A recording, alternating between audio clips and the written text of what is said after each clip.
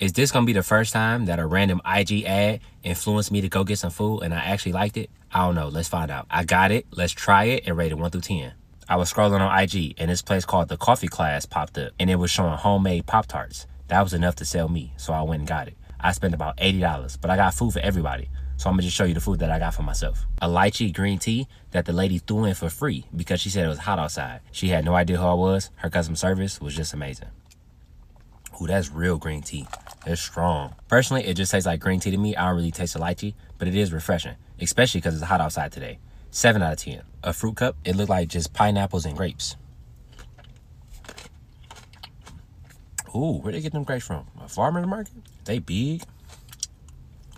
I had a fruit cup at the other place and I rated it last time. I'm not gonna rate this. It's fruit. I'm gonna just rate it whatever you think a pineapple and a grape is and leave it like that. A Rice Krispie Pop Tart. On their website, it said they got a strawberry shortcake Pop Tart that I really wanted to try, but she said it was all sold out today. So I got this instead. The icing on top is a little sweet for my liking, but it's a great feeling that makes that really balanced. 8.5 out of 10. Mm-hmm.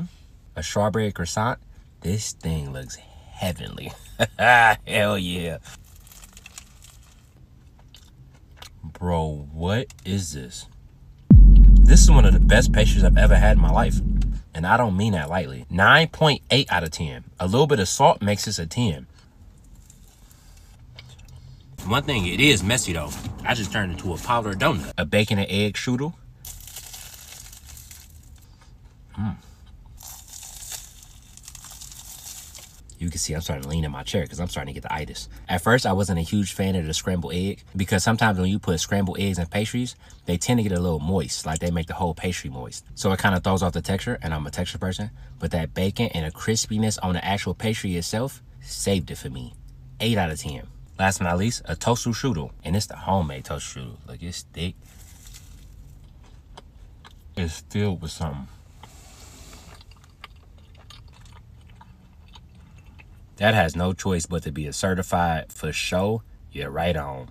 Absolutely. Again, icing is a little sweet, but that feeling for me is perfectly balanced. I'm gonna give it to him. IG ain't miss on this one because it's a 9.3 out of 10. I think I gave all of them really high ratings.